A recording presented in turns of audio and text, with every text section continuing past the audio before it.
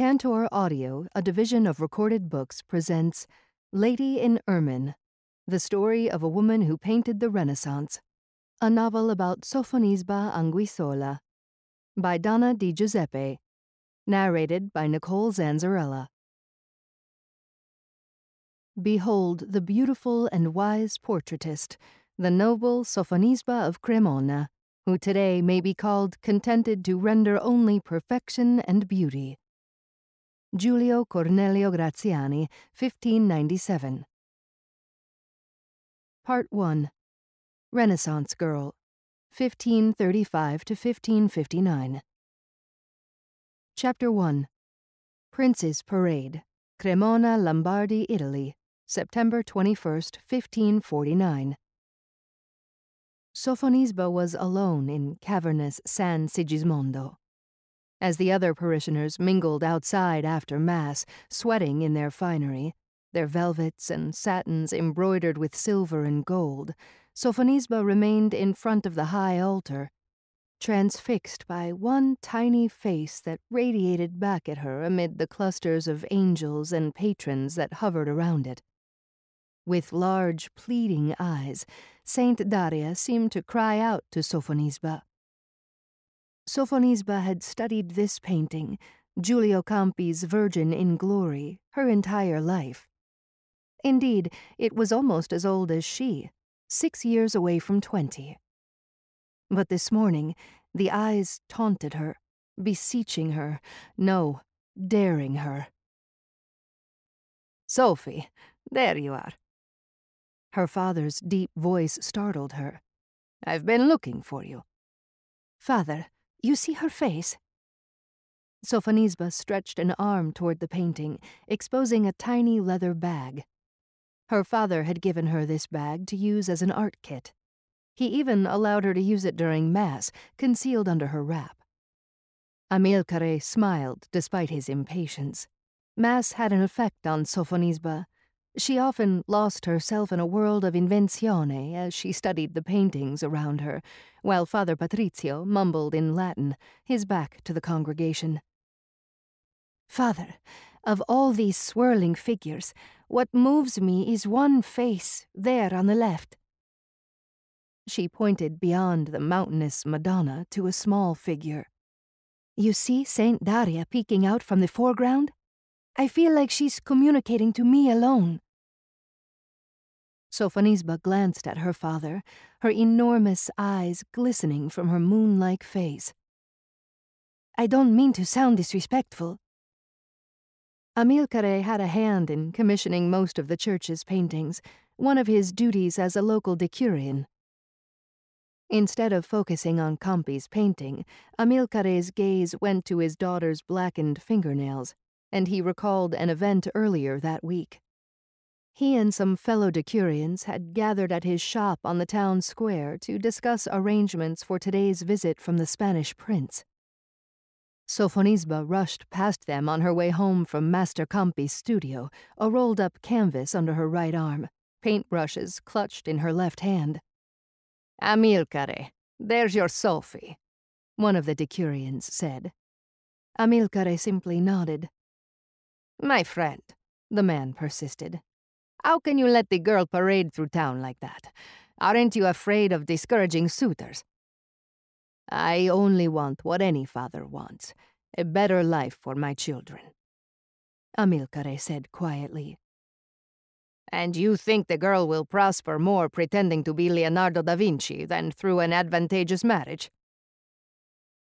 Amilcare shrugged off the comment, accustomed to townspeople frowning on his decision to permit his eldest daughter and her sister to study in Master Campi's studio, a studio full of men of lower rank, men not related to her, men who might forego their shirts when the temperature rose. Amilcare had encouraged all his daughter's talents, as if trying to prove himself. He might be a member of the nobility now, albeit lower nobility, and a respected decurion, but his past spurred him to promote the family name relentlessly. Father, Sofonisba said, drawing Amilcare's attention back to the painting. How can we see the soul of the Savior when he's overshadowed by the crowd of angels that surround him? That face of Saint Daria grips me more than all the rest. Amilcare smiled affectionately at his earnest daughter. Her ambitions rivaled his own. Sophie, the prince will arrive shortly. I must meet the Decurions. Go home with your mother and sisters and make ready for the parade. Sofonisba crushed the red geraniums in their terracotta pots as she leaned over the family's balcony to count the townspeople gathering on the street below. She lost track as they moved about, jostling for a better view of the Grand Viale leading to the town square. Soldiers began shepherding them aside in anticipation of the prince and his retinue. They're coming! cried young Minerva, hearing the clop-clopping of hooves on cobblestone. The Anguissola sisters began angling for a spot on the balcony. Twelve-year-old Lucia elbowed Sofonisba from behind. Elena wedged a hand between the two to make peace. Mamma Bianca and the servant, holding baby Europa, gathered close. All were smiling, giddy, except for Sofonisba, who felt numb with anticipation. The parade rounded the corner. The prince's Toledo armor sparkled. Confetti of yellow marigolds engulfed him. Sofonisba stretched across the railing as far as she could to see him. Her pulse raced. She fantasized that he might stop at their balcony to ask her name and then commission her to paint for his collection. She imagined herself curtsying deeply before him, offering him her life's work. A painting to commemorate your Majesty's legacy, she would say. One sees her talent in her eyes, the prince would say for all to hear. Lucia pushed Sofonisba into the flower pots, competing for a view the way she competed for attention. A geranium broke off its stem, and its innocent red flower fell from the balcony into the flotilla of yellow marigolds and landed right into the prince's lap, nestling between his codpiece and his horse's mane. The stunned prince looked up for the source of the fugitive flower, and Sofonisba felt his steely eyes bore straight into hers. Instantly, the prince's eyes softened, from accusation to curiosity. For Sofonisba, the moment felt like an eternity. As he continued toward the town square, Prince Philip's questioning eyes remained in Sofonisba's imagination, crystallizing her calling. One day, she would paint the portrait that showed the king's soul through his eyes. The greatest accomplishment for a, dare she think it, a portraitist. Chapter 2 Virgin Portrait with Book, Cremona, 1555. Sofonisba intercepted Marco on his way down the hall to tutor her younger sisters. She whispered to keep her mother from hearing her distract him from his paid duties. Master Marco, I have a new concept I would like to discuss. She thought he suppressed a smile as she tugged his sleeve and led him into the sitting room next to the library where her sisters awaited their tutor. Marco never passed up an opportunity to talk with her. Now twenty, Sofonisba no longer studied under him, but they continued to exchange ideas. The two gravitated toward each other, but stifled their mutual attraction. They both knew Amilcare would never consent to a match between his daughter and the tutor. That had been tested two years prior. She and Marco were discussing her final dissertation, and their fingertips touched when he handed her the Book of the City of Ladies. His simple touch shot a spark through her body, and an image came to her the scholar and the artist in their little studio in the back of their little house. She squeezed his hand and smiled up at him. Then her father's voice came from the hallway. Master Marco, I think you should leave. Before Sofonisba could object, Marco gathered his books and hurried off as commanded. She heard the door downstairs close behind Marco, with her mother's surprised farewell trailing after him. Sofonisba glowered at her father. Was that necessary, father? Nothing inappropriate happened? Take care with Master Marco, Sophie. You are no longer a child. Now that you've finished your studies, you can focus entirely on your art. Sofonisba straightened. Father, I would like to speak to you about Marco. He's kind and gentle, like you, father. Amilcare shook his head as if not comprehending. Sofonisba squeezed her eyes shut, and then opened them wide. May we consider him for my future husband? Amilcare jolted backward slightly and shook his head. Out of the question. But why? Why can't I marry him if I see he can make me happy? You should be happy too. He approves of my art. This is an infatuation, daughter. When a suitable match arises for you, Sophie, I will consult your opinion. But Marco is beneath you. Beneath me? Look at his accomplishments.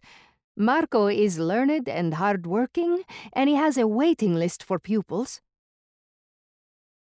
Amilcare took a seat and looked down at his hands. He said nothing at first. He took a deep breath.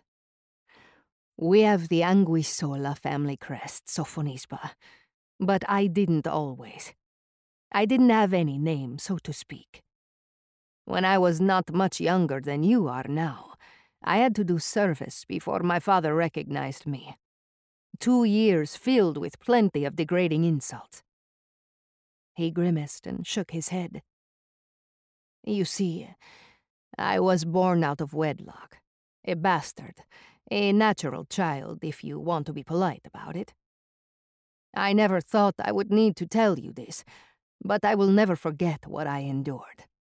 I simply cannot let you marry down. Especially after I've let you train in painting against everyone's advice. Never before had Sofonisba seen shame in her father's eyes. It pained her to realize that his incessant drive was more than raw ambition, it was a deep need for approval.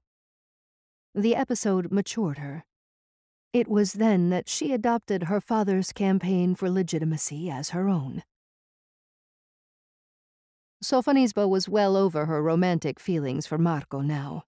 All that remained between them was friendship and intellectual camaraderie. He was retained as tutor for her sisters and little brother Asdrubale, who was born around the time Sofonisba inquired about marriage to Marco. Her father's birthright confession coincided with the birth of his hoped-for male heir.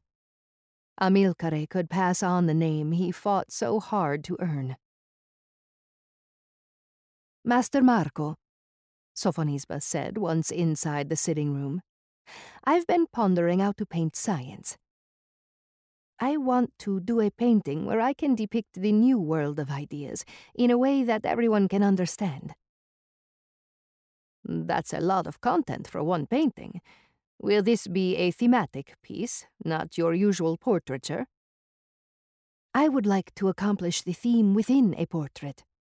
I'm thinking of depicting all of science in the portrait of one man. Anyway, I need to find a subject bigger than myself to paint. My self-portraits haven't earned me a commission, despite father's tireless efforts. A depiction of Leonardo, perhaps. A tribute to his tenure under Ludovico il Moro. Yes, Leonardo could represent all of science, but I don't know what he looks like. I can't misrepresent the likeness of Leonardo da Vinci. Good point. Heresy. How about an astronomer? Not the sailors who navigate the stars for practical transport, but a Dominican astronomer. One of those priests coming out of Milan who reads the stars to learn about our world. Ideas are circulating even among churchmen that question our Earth's position in the universe. An astronomer priest, science and religion. I could show his craft through his instruments and his pious curiosity in his face. And will you sign this piece, Sofonisba? Marco cocked his head. She generally avoided signing her work in order to appear modest. Her mother often cautioned that it wasn't worth risking unnecessary ire. Sofonisba took a breath. Very well, I will sign this one. And perhaps. Her voice trailed off. Do you not teach that Leonardo wrote backwards? she asked. It's said he wrote this way so that others could not easily steal his ideas. Then, as a tribute to Leonardo, I will sign my Dominican astronomer backwards. I'll shield my modesty the way Leonardo tried to protect his ideas. Clever. Marco pointed his forefinger to the ceiling and turned to head for the library where the children awaited him. By the time Marco emerged from the library after the children's lesson, Sofonisba had progressed in her study. Ah, Master Marco. She waved a piece of parchment in her hand. Do you think the Dominican astronomer concept might widen my audience? Perhaps lead to a public commission? He smiled at her optimism, then sighed. Your work may never make it into public forums. Have the town decurions yet appointed you to paint for them, even with your father's influence? He didn't wait for a reply. And the local courts in Mantua and Parma already have permanent painters, men Sofonisba. Which court will take a chance on a woman? How could they compensate you? For a woman in your position, accepting payment would demean you. Then why do I continue to paint at all if I have no commissions and no place to show my work? I'm twenty years old. My options are narrowing. She looked away from Marco, hoping he did not see her blush, remembering her old crush on him. The local lords can only do so much. Submit your work to them as you must, but you will need a higher authority to move the boundaries of decorum and find the acceptance you need as a woman painter. Sofonisba remembered locking eyes with Prince Philip as he passed under their balcony. Exquisite advice, Master Marco. But how exactly will I accomplish that? How does someone like me gain access?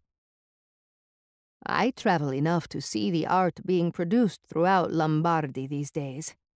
Portraiture has taken deep root in our region since Leonardo's time. You have a natural talent, Sofonisba. Marco pointed at the parchment in her hand. Perhaps you will be the one to continue what Leonardo started. Please, I can't even manage his script. Look. She held up her scribbled parchment. At the best, I can write upside down. Marco stepped closer to her. It may require a touch of serendipity, but you must get your work to the king. If he admires it, your sex won't be a detriment. Let your father promote your work to the local lords, and don't be hurt when they reject you. It has been two decades since I escaped the life that was expected of me as the son of a butcher, and still I see condescension in the eyes of my patrons. Marco winced. Be strong and confident until you get an audience with His Majesty. To get beyond the common requires the extraordinary Sofonisba.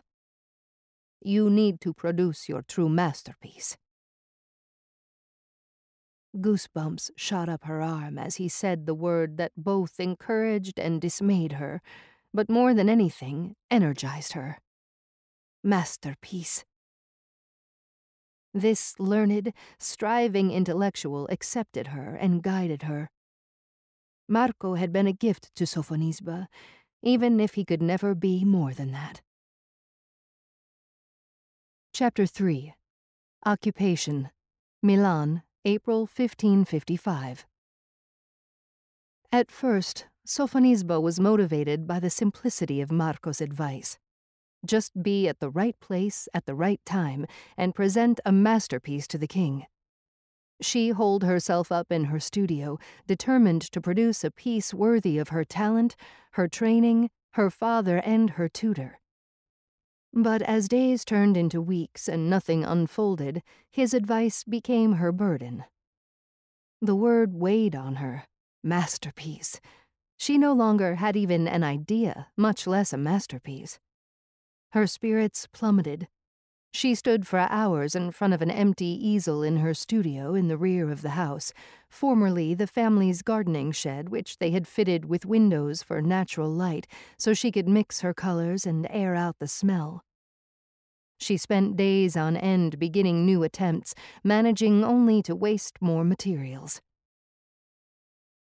April came and Sofonisba was still wrestling with her insecurities when Milan announced a new Spanish governor.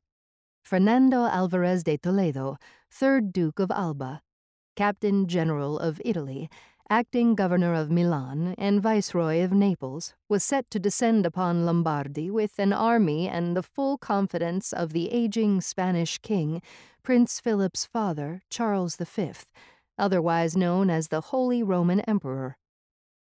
Alba's first act was to put his son in charge of the Spanish troops in Lombardy. Rumors spread.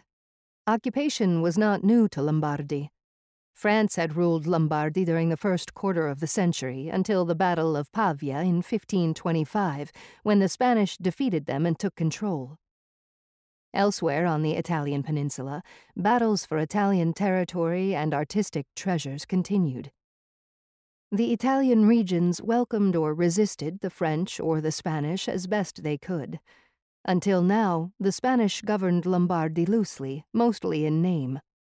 The locals feared that was about to change under Alba and his extended family. Shortly after Alba's people were installed in Milan, a scandal erupted. Sofonisba heard about it from Marco before he gave morning lessons to the children. He found her in her studio, staring at a blank canvas perched on its easel. Big news, Signorina, it's not taken long for our new overlords to shed blood in our region. Not due to Lombard resistance, mind you, but from Spanish corruption. Sofonisba rolled her eyes slightly at his interruption, feigning irritation even though she was happy for the distraction. Alba's enormous entourage in Milan is being housed with Spanish lords, the Prince and Princess of Ascoli, Marco said. The unit is guarded by a Spanish captain named Pedro de Mendoza, said to be the brother of a powerful Spanish cardinal, the Cardinal of Burgos. I've seen this captain in the piazza, Sofonisba said, smiling. Sorry to disappoint, but an Ascoli lady-in-waiting has already caught his eye. I thought attendants were guarded like nuns. Customarily, this cunning lady let down her veil just enough to encourage the captain, who must have found opportunities for romance. What he did not know was that an Ascoli retainer caught wind of the affair. The retainer knew he had to prevent Captain Mendoza from bringing disgrace upon the house, so he lay in wait hoping to catch the man sneaking into the lady's quarters, intending to shame him into ending the affair. The simple plan was botched. Mendoza reacted violently. A fight ensued. Others joined the fray. A man was killed. In the chaos, Mendoza escaped. Sofonisba was wide-eyed. Desertion from the king's army. As brother of the Cardinal of Burgos, he must be confident his family ties will protect him. There's more. Reports are that the Duke of Alba flew into a rage and summarily imprisoned the Prince and Princess of Ascoli for failure to control their staff. Spanish princes imprisoned? Imagine. Naturally, they were released within the hour. I can only assume that Alba wished to impress upon us that he is decisive and impartial. He's already benefited from the whole sordid affair, earning begrudging respect in town. You know how the merchants value order above all else. After the scandal, Pedro de Mendoza's reputation grew each time his story was told. Sofonisba could not have admitted to Marco, but she understood what tempted the lady in waiting. She had spotted Mendoza in the city center, not exactly a handsome man, but commanding. One day she would paint the swagger of Pedro de Mendoza and title it Portrait of a Soldier. Not long after the Ascoli Mendoza scandal, Amilcare announced at family dinner that he would leave for Milan at week's end. The Duke of Alba is convening a council to discuss reform for the region. He's calling for a foreign podesta. Naturally, the Decurions are curious about the implications. This outsider will be charged to judge legal disputes here in Cremona. I have been nominated to appear at the regional council in Milan. Then let's kill two birds with one stone, his wife said. What if the Decurions present Alba with a painting by Sofonisba? If he is as fair-minded as his handling of the Ascoli Mendoza scandal suggests, perhaps he would be willing to consider a piece from a girl.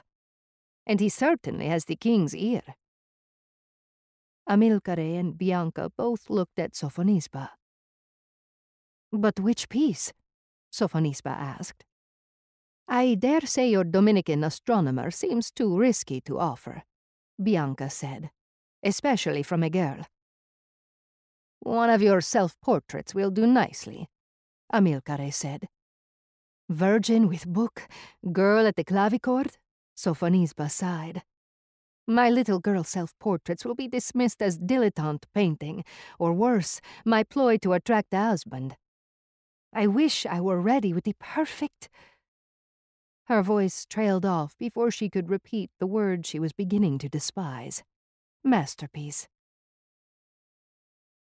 A week later, Amilcare was in Milan, surrounded by dozens of representatives from all over Lombardy, sent to gather information about Alba's intended reforms. Amilcare was disappointed to realize he would not have a private meeting with the Duke as he had imagined. He would have to be assertive if he wanted to get Sophie's portrait to the Duke. He saw his chance when he was given a seat on the center aisle in the meeting hall. As Alba proceeded down the aisle toward the front riser, Amilcare stepped onto the processional rug in front of him. Alba instinctively put his hand on his sword, then leaned back and smiled when Amilcare held out a package wrapped in red velvet. Your Grace, may I present a gift from the Council of Decurions of Cremona? Amilcare proffered the package to the Duke, who took it with a polite nod before continuing to the end of the hall to address the assembly. Toward the end of the governor's banquet later that evening, the Duke of Alba sent a servant to invite Amilcare to approach the head table. Amilcare was happy to spot Sofonisba's portrait displayed next to the Duke's chair. In addition to being a general and statesman, Alba was known to be an art collector Alba gestured to the piece. Thank you for the gift. The portrait is moving. I see it is inscribed Sofonisba Anguissola, Virgo. You give me a portrait of your daughter, sir. It is a portrait of my daughter, your grace. She is also the painter. This is her self-portrait. Alba cocked his head to the side without speaking, a polite smile frozen on his face. Amilcare straightened. We are blessed with many masters in our region, Your Grace. I admit I made a selection close to my heart. My virtuous daughter Sofonisba has trained with master painters and looks to serve the king with her work. The Duke of Alba sucked in a quick breath. The king, sir. You are serious? He paused and scrutinized the portrait with his expert eye. Not many fathers would venture such an unnatural role for his daughter. Yet one can see she has talent. The Duke looked from Amilcare to the portrait and back again, as if judging the character of the man from the quality of the painting. Dare I say her work reminds me of the portraitist Anthony Moore. Is such occupation common for women in Lombardy? All my daughters are exceptional. However, critics say my eldest paints as if called by God, Your Grace. The Duke closed his eyes and nodded, as if he were considering why God might call a girl to such a craft, then motioned to his servant, who touched Amilcare's elbow to escort him back to his seat. His audience with the Duke of Alba, Captain General of Italy, was finished. When Amilcare returned home to Cremona, the family greeted him at the door. Bianca asked straight away, How did the Duke like it? He loved it, truly. He likened it to the work of Anthony Moore. Reading her father's pat response, Sofonisba said, So nothing came of it then? Amilcare didn't have the heart to deny it.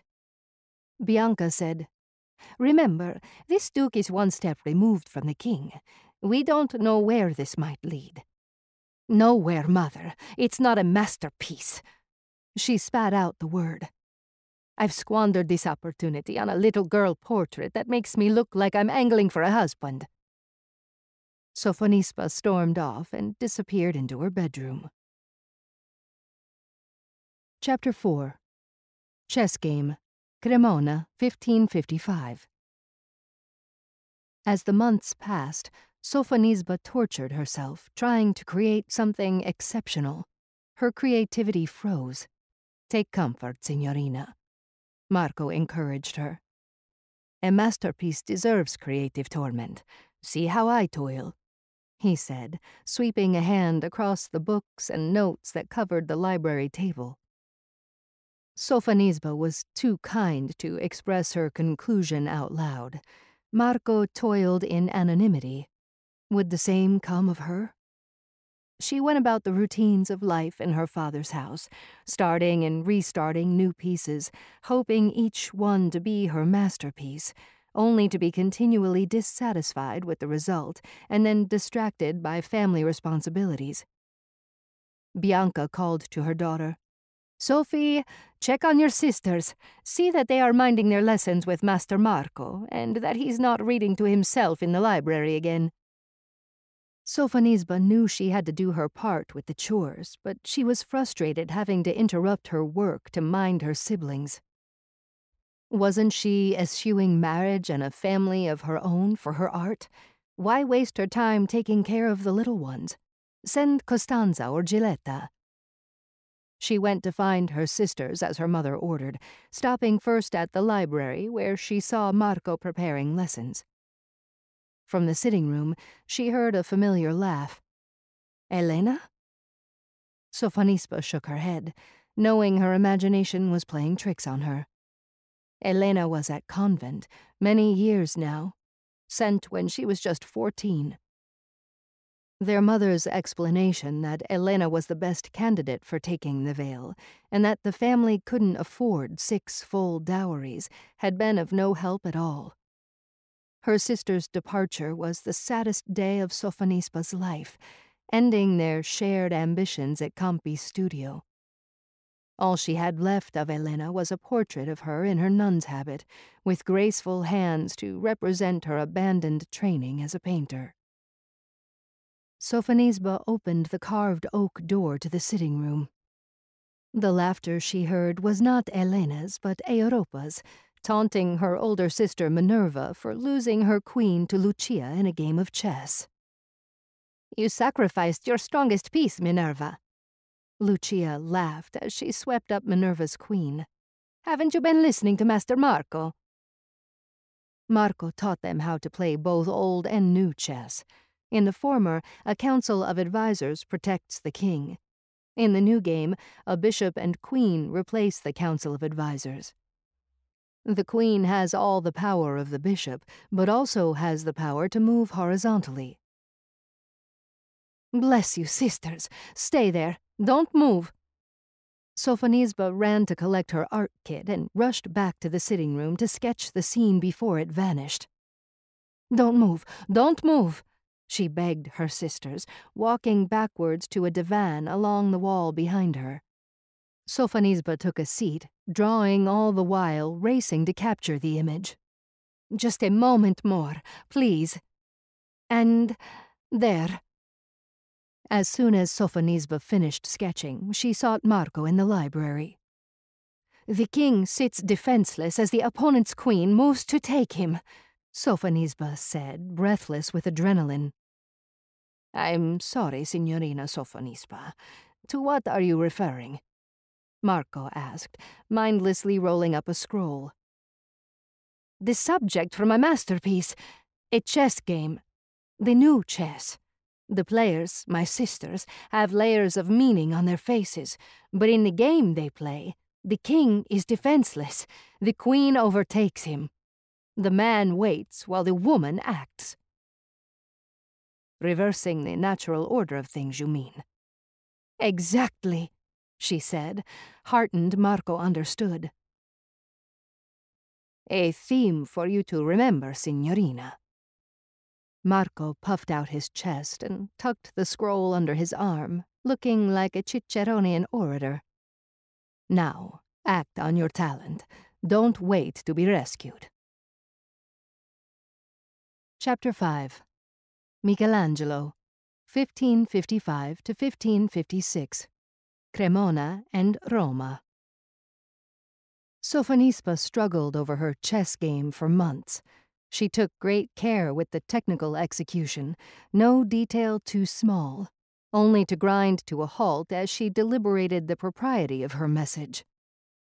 By reversing the natural order of things, as Marco said, was she pushing impropriety too far?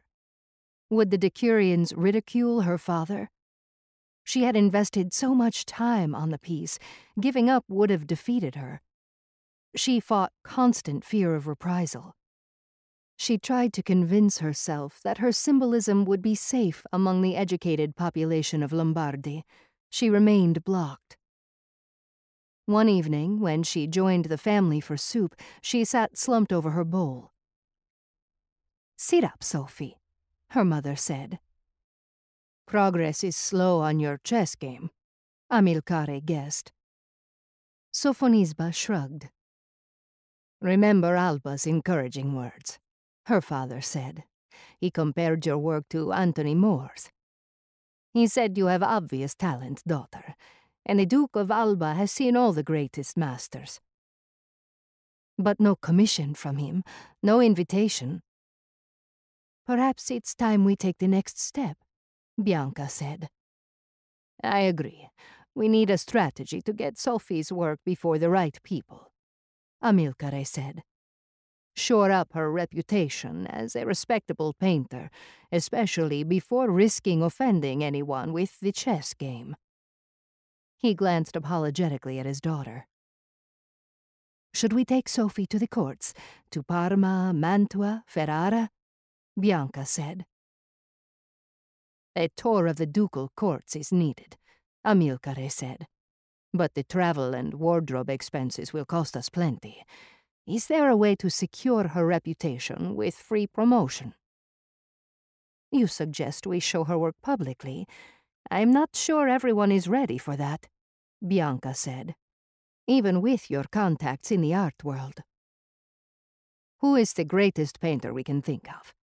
Amilcare asked, tapping his chin whose approval would elevate Sophie's reputation beyond our local circles. Why not just offer my services to Michelangelo in Rome? Sofonisba mocked. A smile spread across Amilcare's face. Daughter, you're right. Michelangelo Buonarroti. If we impress the greatest master of all time, your reputation will shine, then we can proceed to the courts that might patronize you. I'll write him immediately. Amilcare went directly to his library and closed the door behind him. He sat down at his walnut writing table and took out a sheet of parchment to begin a letter of introduction to the legendary aging artist. He tapped his stylus to his inkwell. He adjusted his parchment, then tapped the stylus to the sheet wasting a sheet as blotches of ink ruined it. An hour later, Sofonisba peered into her father's library, anxious to hear what he had drafted. Father, she whispered as she approached, peeking over his shoulder to spy an empty page. You've written nothing. Her father squinted up at her, not looking like the tenacious man she knew, but more like the man who admitted his birth status to her. I confess I'm stumped. How exactly does one address such a great man? I do not believe he has a formal title. Master does not seem adequate. I feel humbled by the task. This letter must be perfect. How about to the most excellent, the most magnificent, and the most honored soul? Amilcare smiled at his daughter's certainty and nodded his approval, dipping his stylus into the inkwell.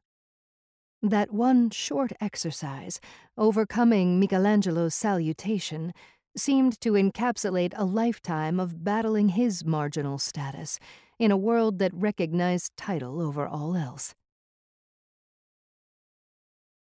Unbeknownst to the Anguissola family, the great Michelangelo needed to be needed at that time for his own reasons, devastated as he was by grief over the death of his partner Urbino. Many months after Urbino passed, Michelangelo was still deep in mourning as he shared with his friend, the artist and critic Giorgio Vasari. My dear Giorgio, I can barely write, but I will say something to respond to your letter. You know that Urbino is dead. He who was my blessing from God is now my infinite pain. His favor taught me to live, and his dying has taught me to desire my own death. For twenty six years, I found him completely trustworthy and loyal, and now that I had made him rich and expected him to be with me as I relax into my golden years, he is gone. And nothing remains for me except the hope to see him again in paradise. At least God has given me a sign that he died happy, even though he didn't want to leave me alone in this treacherous world, so full of worries. Such a huge part of me has gone with him that nothing remains here for me but infinite pain. Your Michelangelo Buonarroti. Rome, 23 February, 1556. Michelangelo had devoted his life to representing the deepest piety and faith, and now, after all his sacrifices for the sake of his art, Michelangelo felt abandoned, alone, and without purpose. He was buried in grief when he received Amilcare's letter on behalf of Sofonisba. A messenger from Rome! Lucia burst into the library to find her father, to accept the special delivery. It must be from him. The others appeared from every corner of the house to hear the master's reply. I can hardly believe we have a response so soon. Sofonisba's hands shook as she tore open the letter her father handed her. Bianca tapped her tented fingers together in a sort of impatient prayer as they waited for Sofonisba to read it to them. He's requesting that I send him a drawing of a crying child. Sofonisba summarized aloud as she read the note. He wants a model of sadness. He charges me to represent sorrow in the facial expression.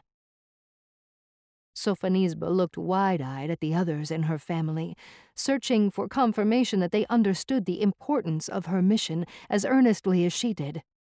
I will need a live model, she said, looking around for her little brother. I'll need to make Asdrubale cry. Nobody flinched at the notion.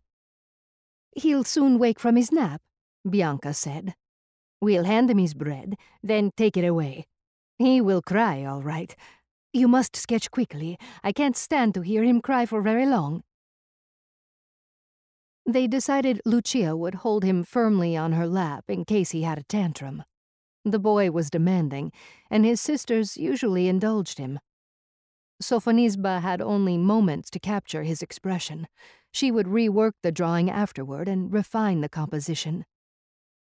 Ecco, fratellino, finito, she cooed to her little brother, tossing him a piece of crust before dashing off to her studio to revise her drawing. For three days she did nothing but refine her initial sketch.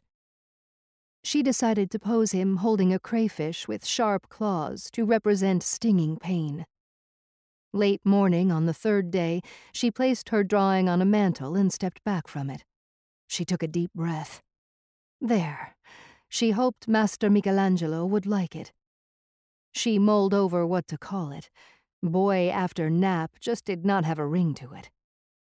Lost in thought, Sofonisba went for a stroll and meandered out beyond the city center, out along the road to Cremona's vineyards. not coming home until after the midday meal was finished and cleared. She sought out Lucia and found her sister alone in a corner of the music room painting her own self portrait. Sofonisba's knock startled Lucia out of her concentration, and a small drop of white oil fell to Lucia's shoe. Thanks, Sophie. Look at that. Sorry, Sofonisba said. She was usually the one chastising another's interruption.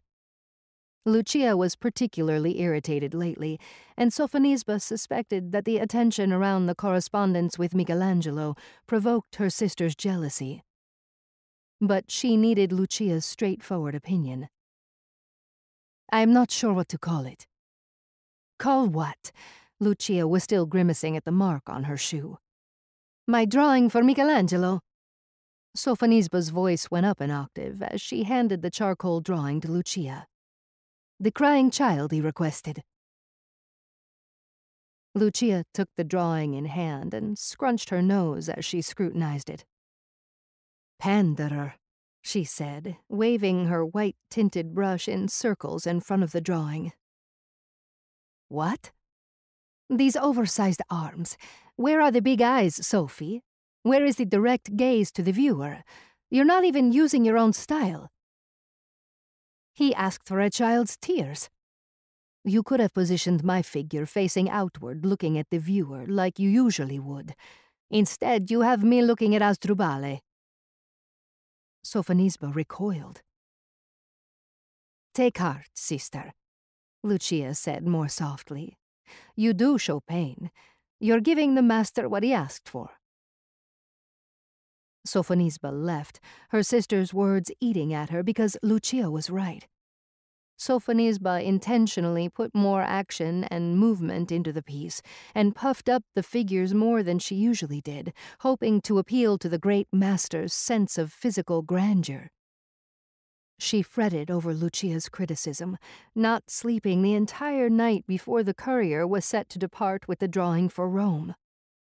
By morning, she realized she could not halt delivery of the drawing. Delay now would dispirit her.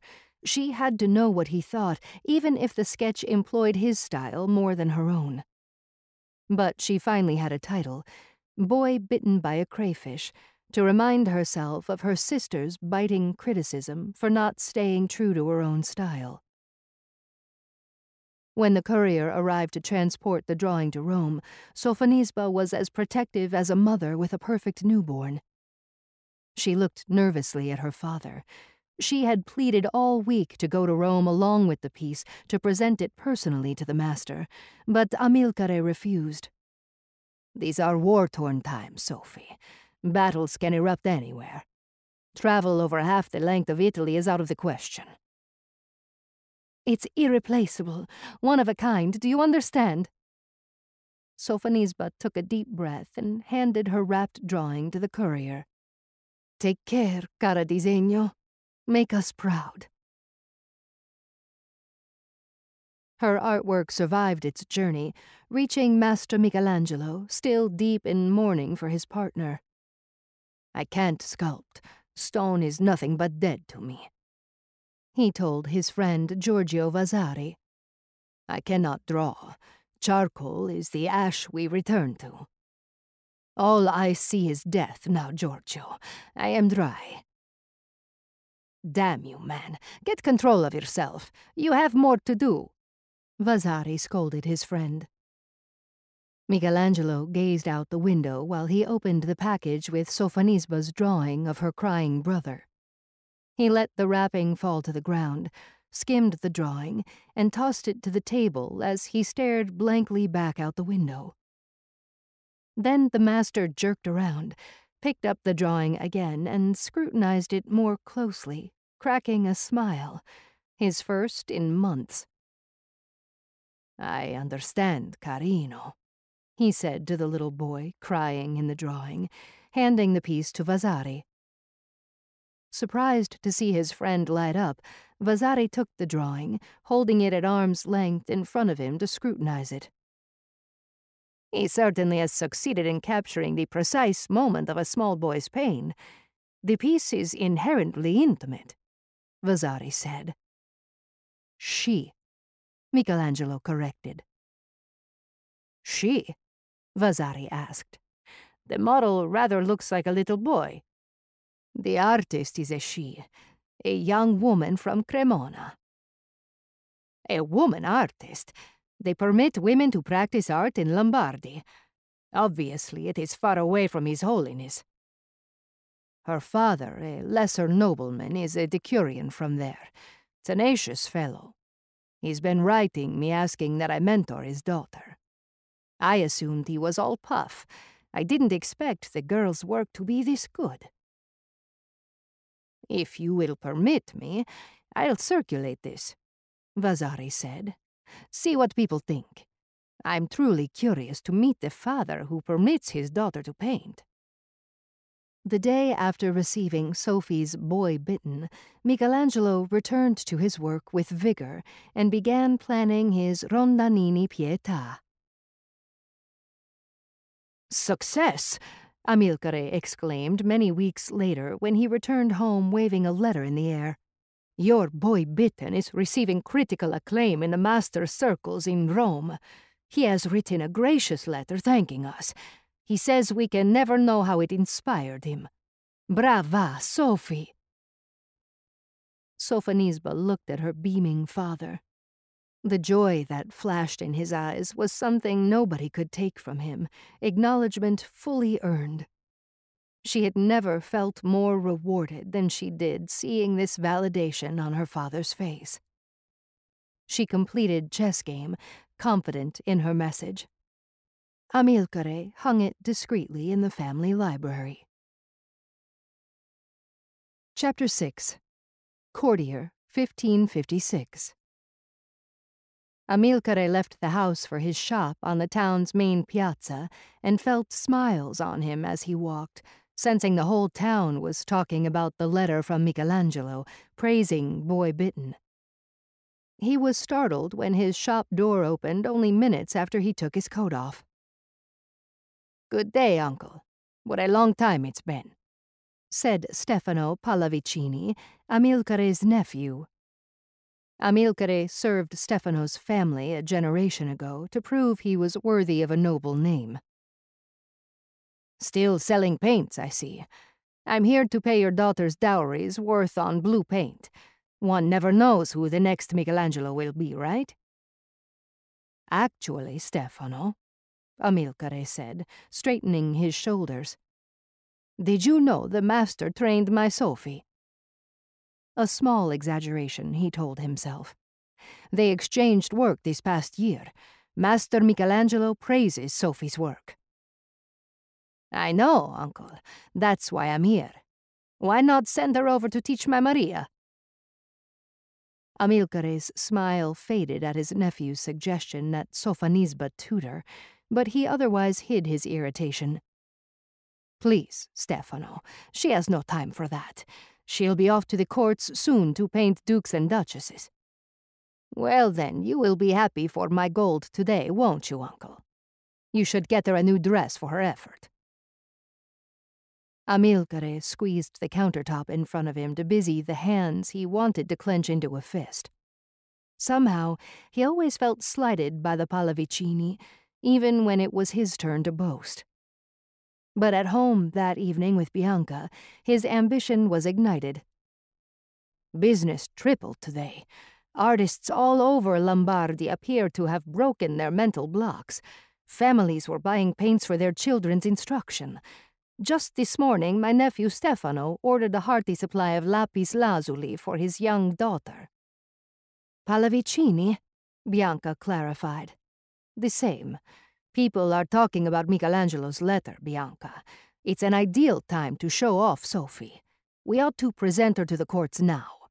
Amilcare said. Mantua is closest. The Gonzaga of Mantua have been art patrons for generations, Bianca said. But Marco reports that the current Duke is reserved. He won't allow madrigals to be sung at court. He says they are too suggestive. He only permits sacred vocals.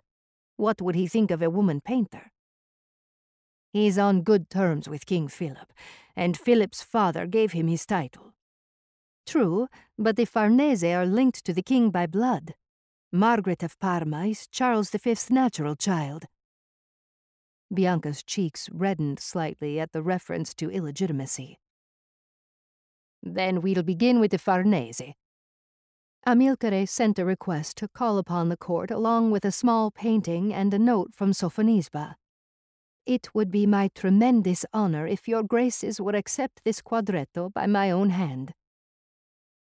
A fortnight later, a messenger arrived wearing the yellow and blue regalia of the House of Farnese. Amilcare handed the departing messenger a coin and called to the family from the entry hall.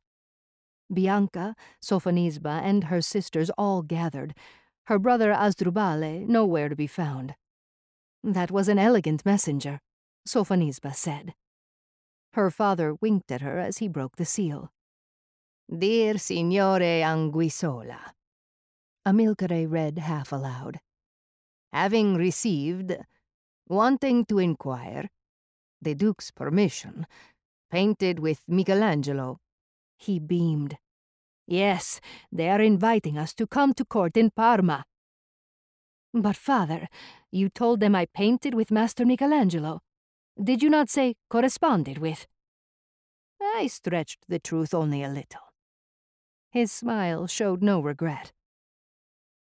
Europa and Minerva both begged to come along. Lucia just shook her head. This trip will be very expensive for us, Bianca said. Travel expenses, the livery, a wardrobe. Your father will go solely with Sophie. Europa and Minerva pouted. Lucia shrugged. The next day, Sofonisba waited for Marco in the library at the hour he was expected to tutor the younger siblings. Signorina, I see on your face you have some news. Yes, I do, Master Marco. My parents are preparing to formally present me to the Farnese court. I'm nervous. Of course, Signorina, one would be. But do not fear the Farnese. They are dedicated patrons. They have even honored me with a commission translating documents from Old Latin, very dense language. And, he lowered his voice, you might find the unhappy marriage of the Duke and Duchess of Parma plays to your advantage. The Duke believes himself demeaned being put to marry a bastard. The Duchess, meanwhile, flaunts her bloodline as the daughter, illegitimate or not, of the Emperor. And how do you think she keeps her husband in line and shows off her status, signorina?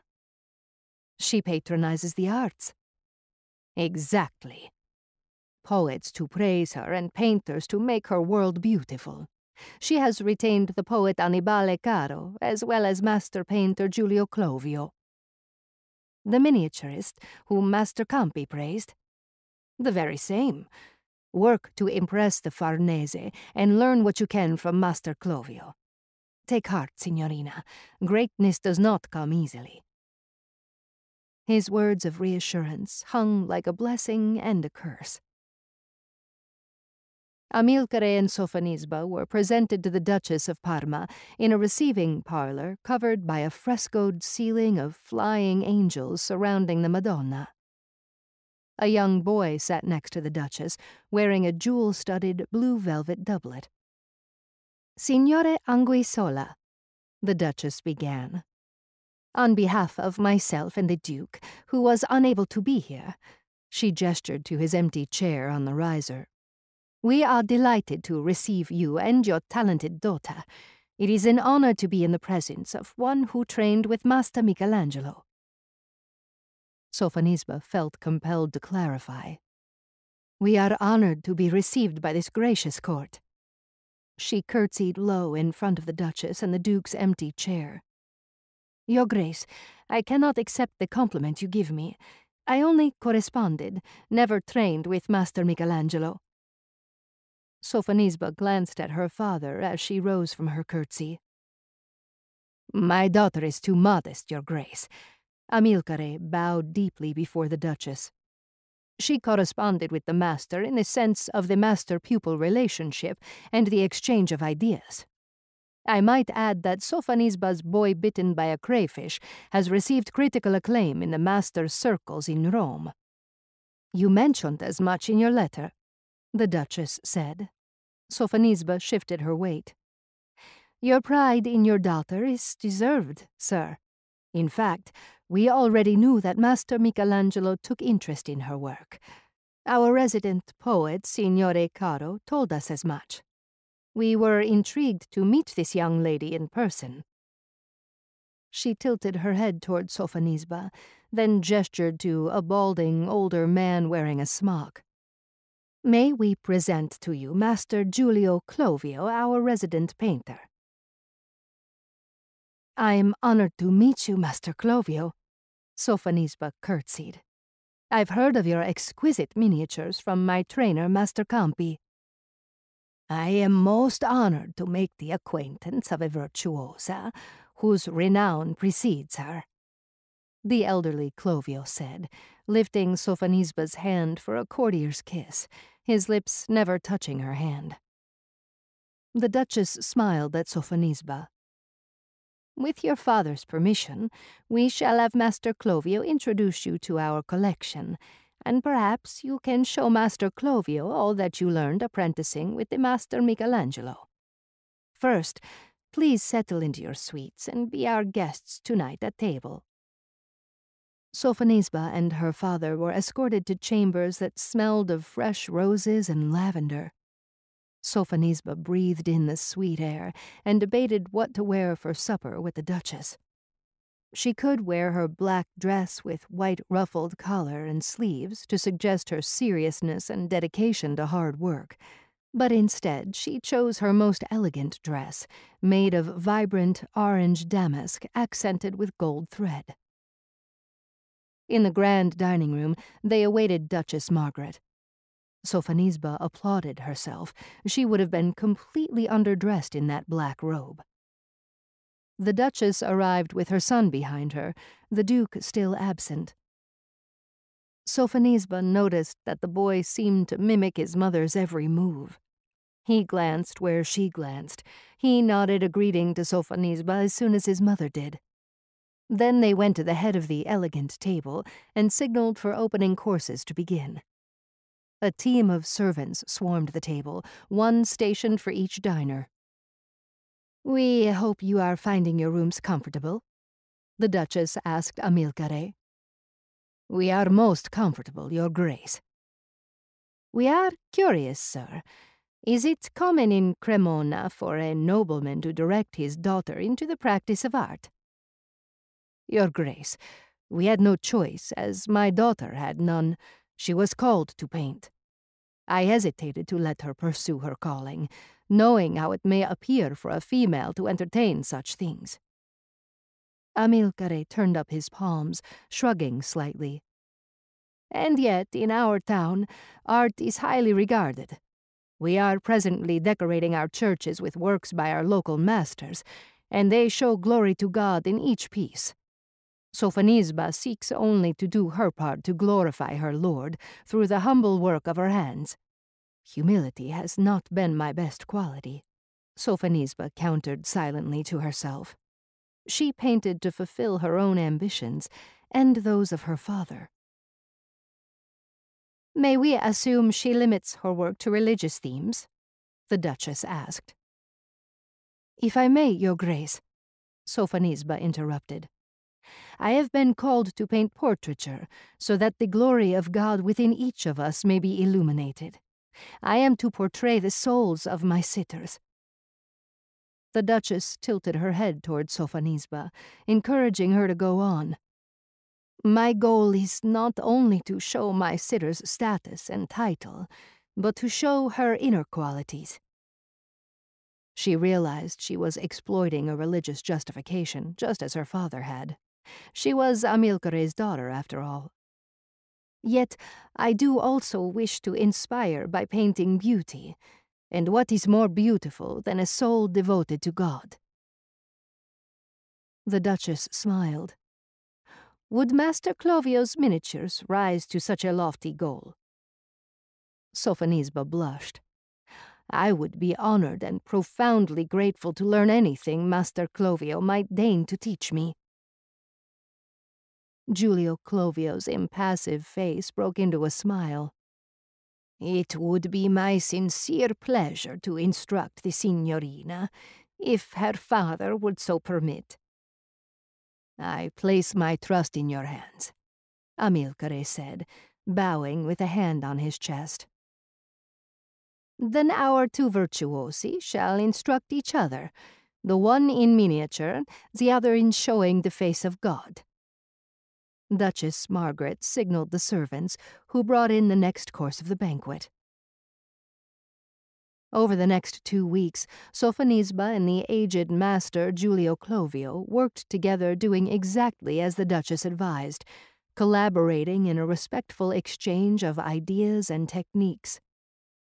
But the Duchess also spent time with Sofonisba individually, taking an interest in her personally, as if making up for having no daughter of her own. You are as gifted as any court painter today. That is plain for the eye to see. Will you offer your talents for the courts of Europe, if someone were bold enough to accept you?